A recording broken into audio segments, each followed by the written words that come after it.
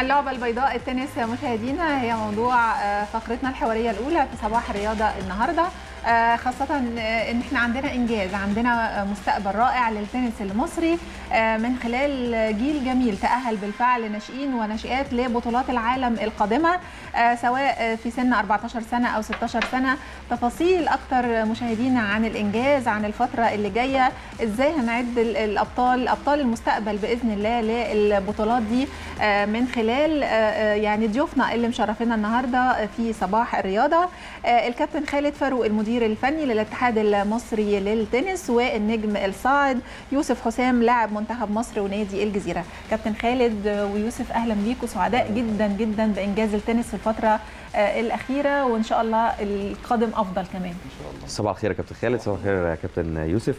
كابتن خالد بالتأكيد ملاحظين إن في طفرة في التنس المصري إلى حد كبير عن الماضي وبالتأكيد في منظومة شغالة على سيستم معين بحيث إنها تستطيع إنها تنافس في المنافسات المختلفة.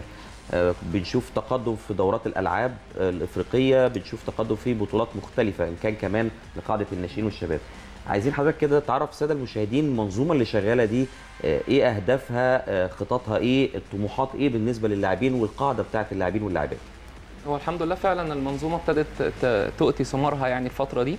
إحنا استفدنا من إن إحنا عندنا مجلس إدارة بقى عنده خبرة بقى له سنين بيجرب وبياخد خبرات في الاتحاد المصري والاتحاد الدولي والاتحاد الأفريقي ومعظمهم أعضاء في الاتحادات الإقليمية والدولية. نعم. استعنا بأحسن حاجة موجودة دلوقتي في الدنيا ابتدينا من الآخر زي ما بيقولوا يعني ما عدناش اختراع العجلة. إحنا دلوقتي مثلا ماشيين بنظام إدارة بطولات هو أحسن نظام موجود في الدنيا هو اللي متبع في الاتحاد الإنجليزي الاتحاد الدولي الاتحاد الأوروبي الاتحاد الإسباني. ده نظام كله online ال database بتاعتنا بتاعت اللعيبة كلها اونلاين اللعيب بيدخل ب username و password بيشترك في البطولات. بينزل اسمه في البطولة عند الحكم. كل ده اوتوماتيك بعد البطولة ما بتخلص الحكم بينزل النتائج على طول يوم بيوم. تطلع على طول النتائج اوتوماتيك برضه ب ranking بعديها بأسبوع. ده يمكن الاتحاد الدولي ما عندوش ال system ده كامل واخد جزء منه. الاتحاد الأوروبي هو اللي واخده كله. م. إحنا نعتبر من الدول المتقدمة القليلة اللي في الدنيا شغالة بال system ده. حتى إحنا في البطولة الأفريقية اللي فاتت الاتحاد الافريقي بيهنينا لأن إحنا كسبنا الافريقية وبعديها اكدنا فوزنا في دورة الألعاب الأفريقية وفي تصفيات كأس العالم. فبيقول لنا مصر رجعت لمكانها وللرياده بتاعتها تاني. يعني تحس إن هم فخورين بينا برضو التوانسة لأن كانت الجنوب أفريقيا كانت محتكرة التنس في, آه في أفريقيا يعني. مم. فإحنا بقى لنا فترة الحمد لله ابتدينا ناخد مكاننا تاني. كلام حضرتك ده يا كابتن بيأكد على نقطة مهمة جدا دايما بنتكلم فيها اللي هي الإدارة. إنه وكمان يعني أكبر دليل على نجاح أي منظومة إدارية إن إحنا نبدأ زي ما حضرتك قلت بالقاعدة العريضة قاعدة الناشئين لأن ده اللي هيكون الأساس. اللي عليه بعد كده هنبني المراحل السنية الأعلى. ده شيء مهم جدا برضو. آخد يعني رأي يوسف خاصة. يعني وإحنا بنتابع كده الكليب اللي كان قبل الفقرة ونكون معاكم على الهوا. طبعا نجوم العالم وكل العالم دايما بيتابع ال Grand Slam بيتابع رافائيل نادال فيدرر كل النجوم دول. انت بقى كصاعد في عالم التنس يا يوسف شايف إيه اللي ناقصك؟ انت سواء في منظومة الاتحاد المصري أو في نادي الجزيرة أو في حياتك انت كلاعب ممكن فعلا تقرر إن أنت تكون لاعب تنس محترف؟ آه طبعا. هو ده هدفي أصلا إن أنا بحاول أبقى أبقى pro ألعب ATP زي كريم أخويا. هو دلوقتي بيلعب ATP و rank و دلوقتي 300 بس هي مش سهلة هي محتاجة إن أنت تنسق بينها وبين كذا حاجة. يعني أنت لازم تنسق بينها وبين الدراسة في نفس الوقت عشان بيبقى في شوية مشاكل امتحانات في وقت بطولات وكده. وفي نفس الوقت بيبقى محتاج شوية دعم عشان السفر بيبقى كتير قوي. يعني أنت عشان عشان تبقى ليك rank عالي أو كده أنت محتاج تلعب مثلا 20 بطولة في السنة فدي بتبقى مكلفة جدا فمحتاج دعم من النادي ودعم من من كذا حتة يعني. ينظم بطولات هنا آه. في مصر تكون بالنسبة لك بالظبط هو بتيجي بطولات كتير في مصر ITF وأنا الحمد لله لعبت آخر واحدة وكسبتها الحمد لله ربنا وفقني فيها. وبس يعني أنا بحاول بقى على قد ما أقدر إن أنا أجتهد بقى في الدراسة وفي التنس أحاول انسق بينهم. طب يوسف قول لي يعني الاشتراكات في البطولات دي بيبقى لك كلفة معينة؟ هو الاشتراكات في البطولة زي ما دكتور خالد قال في الأول كانت صعبة شوية ورخمة بس دلوقتي يعني ال system الجديد ما بقاش صعب ما بقاش خالص. فيه المشكلة دي آه أنت بتخش بس هي click على البطولة اسمك بينزل فيها وخلاص. خلاص. آه خلاص ما بقتش حاجة صعبة خالص. طب الاستعداد ما هو بالتأكيد الاستعداد ده آه بيبقى مهم جدا لأن أنت بتقابل آه ناس على مستوى عالي يعني. أكيد آه طبعا. آه في التدريب ال ال ال البدني وأيضا في نلاحظ إن في تطور في التدريب. على مستوى التدريب المنتالي بالنسبة آه. للتنس يعني. آه. إزاي بتعمل ده مع ناديك وأيضا بالتنسيق مع الاتحاد؟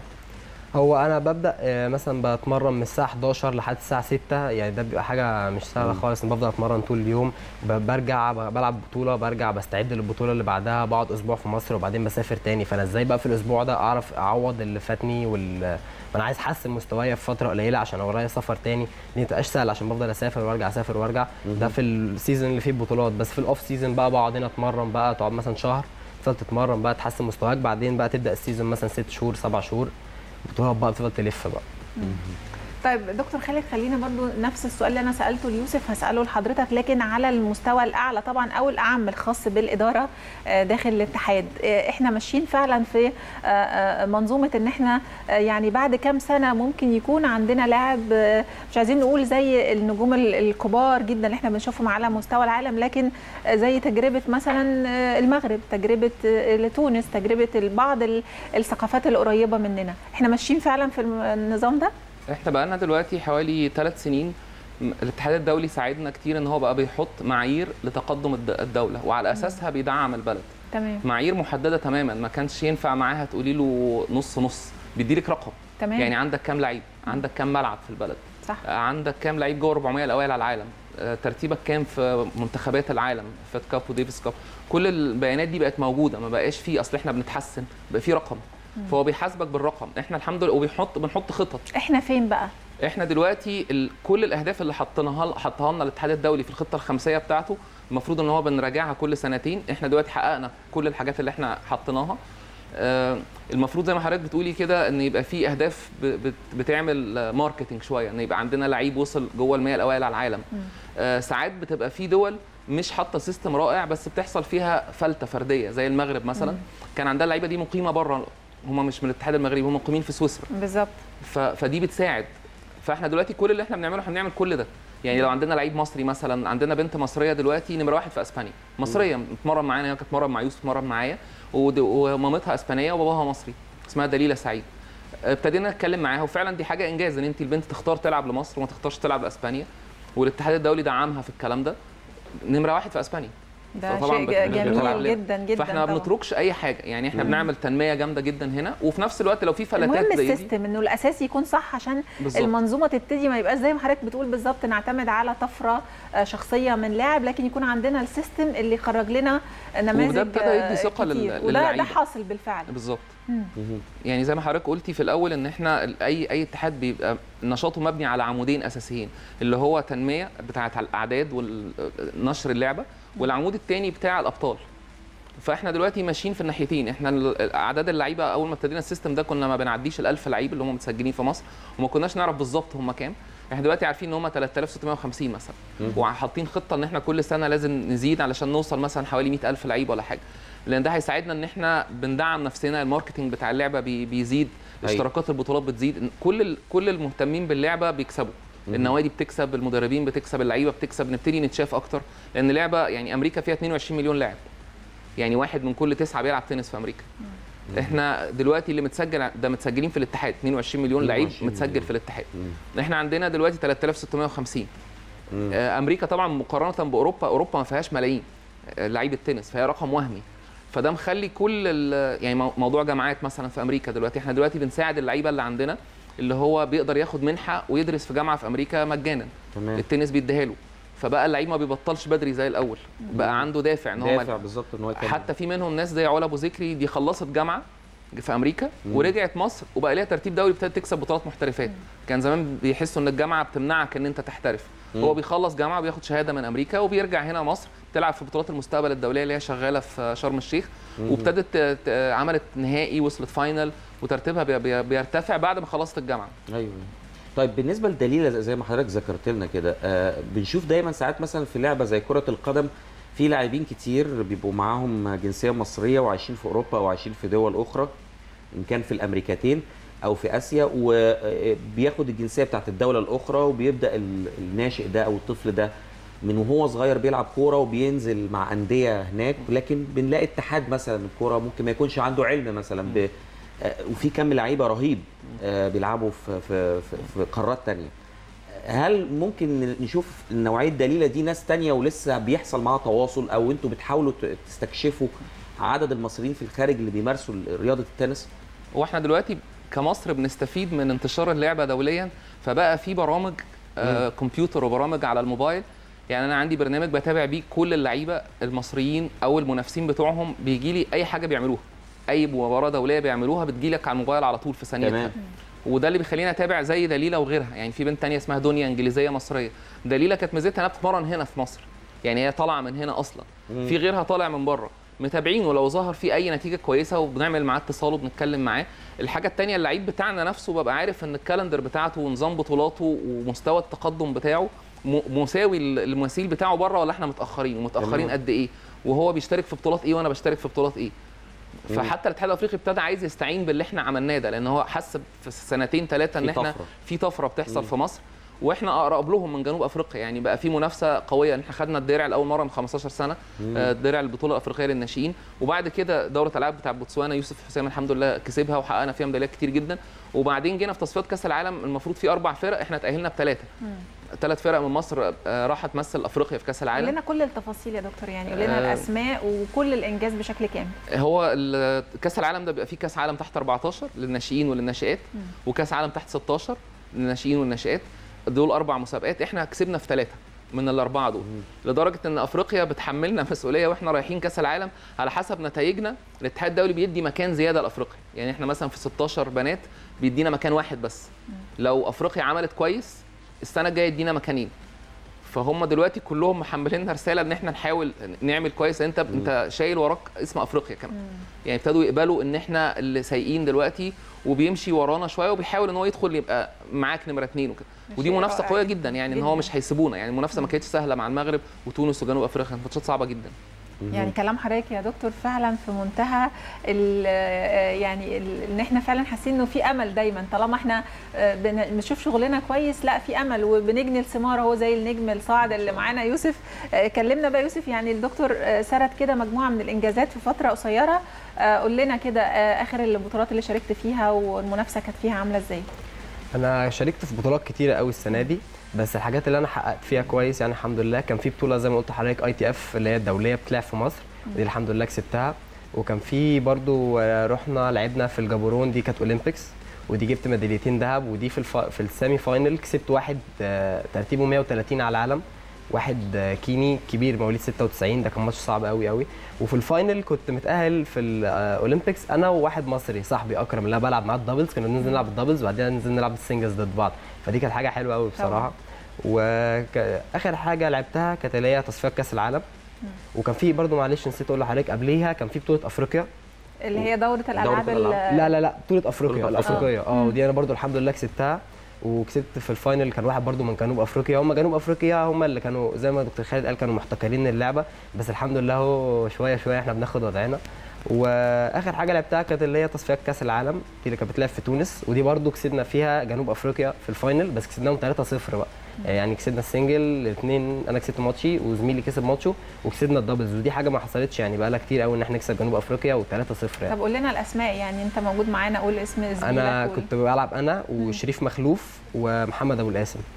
هو أنا كسبت ماتشي ضد جنوب أفريقيا ومحمد أبو القاسم كسب ماتشه برده وشريف بقى ومحمد هم اللي بينزلوا هم دايما بيلعبوا doubles مع بعض عشان هم اتنين في نادي الصيد فهم نزلوا لعبوا الزوجي مع بعض الحمد لله وكسبوا البنات بقى يا دكتور عشان بس هم مش موجودين معانا فعايزين أنا بس عايز أقول. حتة إن يوسف يوم ماتش في جنوب أفريقيا ده كان عنده امتحان آه. وكانت تذكرته إن هو يرجع يوم السبت يوم. يوم الماتش ده وما كانش عايز يسيبنا يعني. إحنا كنا خلاص اتأهلنا بس ما كانش عايزنا نطلع- نطلع التاني كان عايزنا نطلع الأول.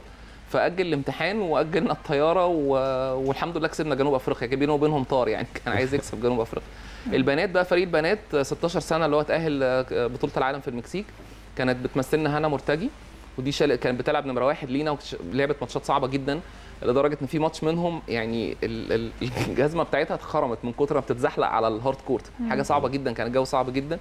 وكسبتنا ثلاث ماتشات آه، هايلة يعني صراحة. أنا كانت بتلعب ال single وال double. وكان معاها لميس الحسيني. لميس دي نمرة اثنين في أفريقيا تحت 16 برضه كانت بتلعب ال single الثاني وكانت معانا نرمين شوقي دي أصغر منهم بسنة وكانت بتلعب مباراة الزوجي. تمام. آه، ب- ب- 14 سنة بنات اللي هم اتأهلوا للتشيك.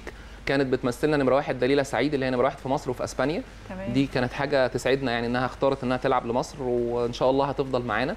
دي برضو بتأكد إن إحنا اداريا بقينا بنوازي اتحاد زي أسبانيا وعرفنا نعرف نعمل تنسيق مع الاتحاد الدولي بحيث إنه يدعمنا. الاتحاد الدولي من مصلحته إنها تطلع من دولة نامية لكن مم. هو ملوش أي input في أسبانيا. أيوه. ما بيساعدش دولة متقدمة. فده اللي خلاني أعرف أخلص ال- ال deal ده مع مع عيلة دليل.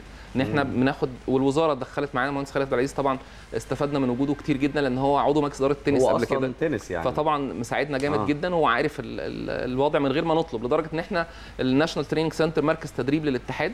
مم. ده كان من من أملنا يعني. من غير ما نطلبه. إحنا في حفله التكريم بتاعتنا في آه، بتاعت بعد الكاس بعد البطولة الأفريقية قال لنا إن إحنا already خدنا الأرض وإن شاء الله ال- بتتبني.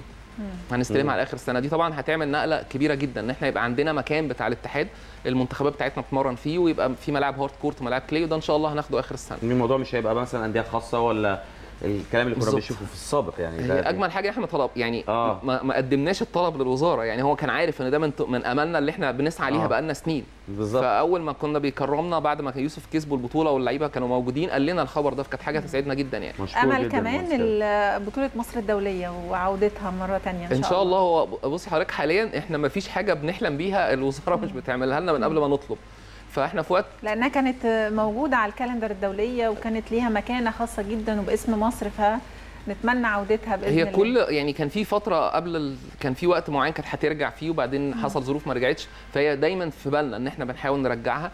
إحنا دلوقتي آه، الاتحاد الدولي كاتب علينا إن إحنا بقينا قبلة للاعبين اللي هو عايز يوصل للاتحاد الدولي للترتيب الدولي مرتفع. لأن إحنا أكتر دولة في العالم بنعمل بطولات دولية للمحترفين اللي هي في شرم الشيخ. مم. إحنا أمريكا بتعمل مثلا حوالي 44 بطولة أمريكا بحجمها ده كله. إحنا بنعمل الضعف. نعم دافع عن قارة. الضعف بتاع أمريكا. هي تعتبر قارة أصلا. يعني دي حاجة أكتر دولة في العالم بتعمل بطولات محترفين في أصعب الظروف اللي مرينا في بيها أصعب كانت الظروف. البطولات هي مستمرة. بالصدفة الظروف دي ساعدتنا. إحنا عملناها فعلا في وسط ال- آه، البطولات شغالة كل أسبوع. في سيدات ورجال. آه، اللي نفعنا لما السياحة قلت شوية الفندق بقت مصلحته إن إحنا نعمل حاجة زي دي. مم. فبقت حاجة من نشاط السياحة وزارة السياحة برضو دعمت فيها. فالظروف دي ساعدت إن التنس يبقى مصر بتعمل أكتر عدد بطولات دولية في العالم. مم. طيب آه، آه، يعني أنا قدامي دلوقتي مثلا ويمبلدون أنا شايف مجموع جوائز 16 مليون و60 ألف دولار. الرقم آه، ده مجموع جوائز. وعارف إنه زمان التنس في مصر كان دايما بيحتاج sponsors يعني موضوع موضوع ال- الرعاة ده طبعا بدون ذكر أسماء رعاة معينين يعني. هل في دلوقتي خلاص الموضوع بعد ال- ال- ال- الملاعب اللي هيتم افتتاحها هل الموضوع فيه تنسيق بحيث إنه آه، نرجع تاني نشوف رعاة كتير في التنس ونقدر إن إحنا نحط آه، أرقام كجوائز مالية كبيرة للبطولات؟ هي عاملة زي ال- البيضة الأول ولا الفرخة. يعني أنت أول ما عرض هتنجز وطلب كمان. بالظبط. يعني لما يكون اللعبة حجم اللعيبة اللي كانوا فيها بيمارسوها في مصر 1000 ولو قلنا إن في 1000 تانيين مش متسجلين. أنت حجمك بالنسبة للرعاة ما يمثلش حاجة. العدد دلوقتي بقى أربع أضعاف. لا ساعات الرعاة ما بيهتموش أصلا لا بالظبط، حتى لو عريضة بيبقى يعني. ما هي لما دور يبقى ليها. لما ليك يعني زي السكواش مثلا لو حصل إن بقى في بطل دولي هتلاقي الموضوع بقى بيتغطى أكتر آه، أنت دلوقتي عمال إحنا بقى بنظهر في التلفزيون وفي الميديا أكتر من الأول بكتير لأن أنت كل شهر بقى فيه إنجاز. بقينا لنا مثلا في ال... آه، لنا sites و... يعني إحنا ال site بتاع البطولات بتاعنا بيدخل عليه مليون hit. ده رقم وهمي إن أنت بيدخل مليون آه. hit لأن اللعيب نفسه مش بيدخل مرة واحدة فبقى آه، ال- ال- الحجم الإعلانات اللي بتتحط على ال site بتاعنا كبر. آه، بقى بنحاول نمشي في السكة دي. طبعا السكة الثانية إن إحنا بنحاول ندعم نفسنا عن طريق زيادة عدد اللعيبة. ده مهم جدا. زيادة عدد اللعيبة وزياده النشاط زيادة البطولات في الأقاليم بالذات. معانا لقطات طبعا من تكريم آه، المهندس خالد عبد العزيز وشايفين في الصورة طبعا كل الأبطال والنجوم. والسيدة. اسراء السنهوري طبعا رئيس الاتحاد. آه، اللي عايزين نأكد عليه إن أنتوا فعلا اللي هو شغل وبس. يعني لا بنشوف تصريحات ولا بنشوف خلافات ولا أزمات لكن فعلا آه، اتحاد آه، محترم راقي برقي اللعبة اللي إحنا آه، بنتابعها. إنجاز ال- اللي حضرتك بتتكلم فيه يا دكتور النهارده بكل المقاييس طفرة في التنس ال- ال- المصري. مش عايزينها طفرة مؤقتة لكنها دائمة لأنها قايمة على أساس ومنظومة صحيحة بإدارة ناجحة جدا. فكل التحية الحقيقة. وفخورين جدا بيكم وعايزينكم تكملوا كده. ويا رب الاتحادات طبعا اللي على طول مالية الدنيا بقى ضغيج وأزمات وصراعات. آه، يعني نشوف نموذج ناجح قدامنا زي الاتحاد المصري للتنس. آه، الثمار واضحة أهي يعني شاب مصري رائع إن شاء الله ليه كل المستقبل. آه، يوسف أخيرا بقى قول لي مثلك الأعلى أحلامك واصلة لغاية فين؟ عايز تعمل إيه في, هو المثل الأعلى طبعا فederer طبعاً، برافو فيش عليك. ما فيش ما فيش نقاش في الموضوع ده وأنا ان شاء الله هدفي إن أنا أبقى ألعب أخش التوب 100 بس ده هدف يعني عامة ده مش حاجة مش حاجة specified قوي بس نفسي أخش top 10 يعني ده حلمي وحلم بابا إن شاء الله أحققه. الله. وأنا بتمرن يعني وبحاول أعمل كل اللي أقدر أعمله عشان أبقى كده إن شاء الله عارف ليه قلت لك برافو على فيدرر لأنه مش بس لاعب آه، طبعا مميز جدا في النواحي الفنية لكنه كمان اخلاقيا آه. وانسانيا آه، بي- بيشارك في أعمال خيرية كتير جدا آه، حياته هادية ومستقره ونموذج فعلا مشرف للاعبين وإنه ينفع يكون قدوة. أخيرا دكتور خالد هنختم مع حضرتك بقى ب يعني اللمسات الأخيرة لأبطالنا ونجومنا في الفترة اللي جاية لغاية ما نشترك في بطولات العالم. آه، إحنا دلوقتي ال- ال- المرحلة إن انت بتنافسي آه، دول متقدمة جدا. وما بقيناش بنكتفي إن إحنا نشارك. إحنا دلوقتي مطلوب مننا إن إحنا نعمل آه، إنجاز أحسن من كده. فبنحط خطة دلوقتي لسفر اللعيبة واحتكاكهم لأن البطولات بتاعة التنس بيسموها تور. تور يعني بتلف. هي مش مكانها في بلد واحدة فبتتكلف جامد جدا. فبنحاول إن إحنا نرتب مع اللعيبة إن إحنا إزاي نجمع ثلاث أربع لعيبة مع مدرب واحد علشان نشير يقتسموا التكاليف مع بعضيهم بدعم من الاتحاد شوية لأن اللعيب بيضطر زي ما يوسف بيقول يسافر 20 سفرية بإمكانيات شخص واحد صعبة جدا. لازم يبقى في دعم ولازم يبقى في تنسيق علشان ما نلاقيش لاعب طالع هنا مع مدرب واحد وفي بلد تانية واحد طالع مع مدرب واحد. بنحاول نوفق العلاقات بينهم وب- وننسق الكلام ده علشان نوفر أو إن إحنا نرتفع بال level بتاع البطولات اللي بتنظم في مصر طبعا, طبعاً. من ال satellite لل future لل challenger يعني كل ده أكيد بيصب في مصلحة لاعبتنا. بالإضافة للتواكب مع علم التدريب أو تطوره في في في لعبة التنس تحديدا ده أكيد يعني. نشكرك شكرا جزيلا كابتن خالد فاروق. المدير الفني لاتحاد التنس الأرضي. أيضا نجمنا كابتن يوسف حسام لاعب منتخب مصر التنس ولاعب نادي الجزيرة. بنشكركم. شكرا جزيلا على حضوركم النهارده. شكرا. شكرا. آه، ومشاهدينا. هنطلع ل. هنطلع لتقرير آه، سريع مع آه، واحد من نجوم